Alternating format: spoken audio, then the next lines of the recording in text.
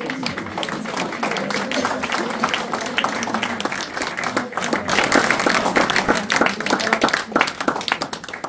effectivement, au nom du musée, je veux d'abord remercier la, la, metteuse en scène, comédienne, et puis notre, notre artiste musicienne, bien sûr, sans qui rien n'aurait pu euh, se passer comme ça.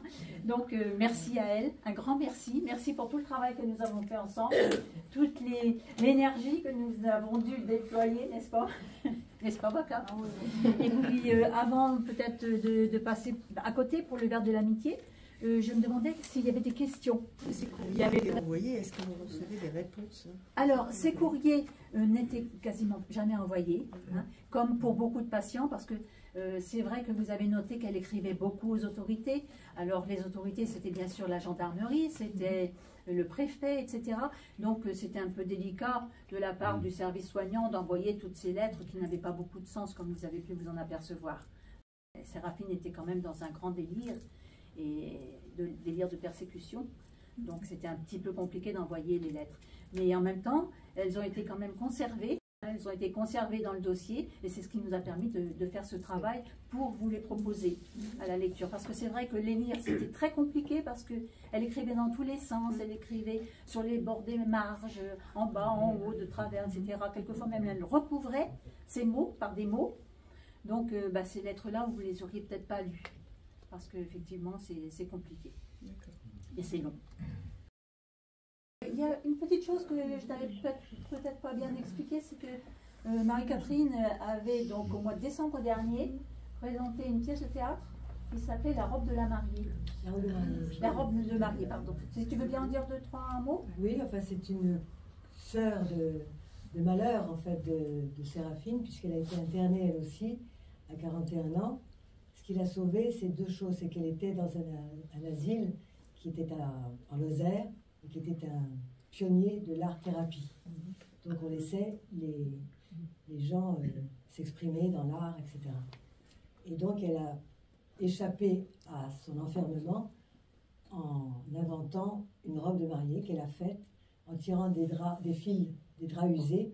Elle faisait des pelotes et elle a fait une robe de mariée qui a été rachetée par Dubuffet, le peintre, concepteur de l'art brut.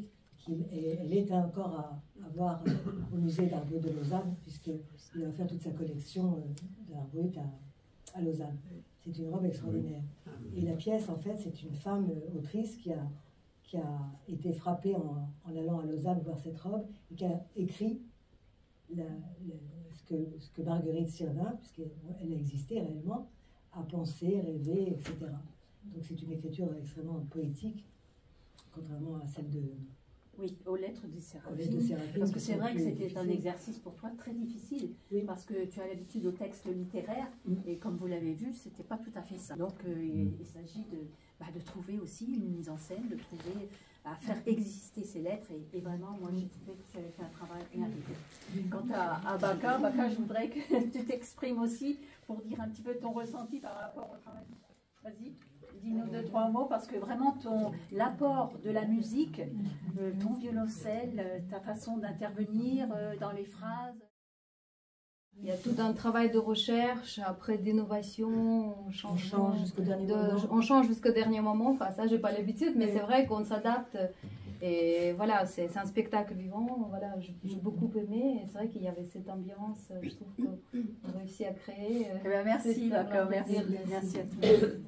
Alors, encore juste un petit mot, et puis on pourra, on, on pourra porter un toast hein, à nous tous. Ah, oui.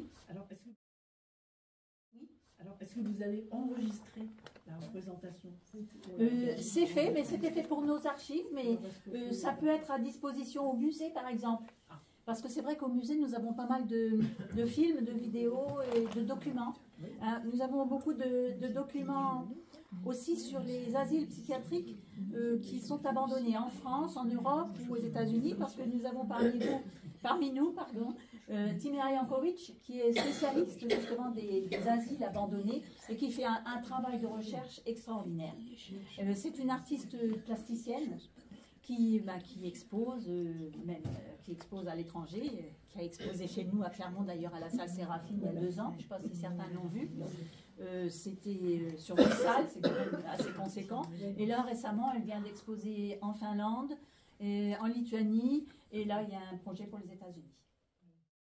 Avant, je voulais vous signaler la, sortie d'un livre, et vous allez pouvoir, dans ce livre, retrouver un petit peu les pas de Séraphine, parce que ce livre nous parle de la faim, de la famine dans les hôpitaux psychiatriques. Et c'est un roman passionnant. Et c'est un roman, je dirais presque un roman historique. Je ne sais pas si j'ai le droit de dire ça. Euh, de toute façon, il ne m'écoute pas. Mais vraiment, c'est magnifique. Moi, je vous engage à le lire. Je l'ai lu avec énormément de plaisir. Et bien, je vous invite. merci.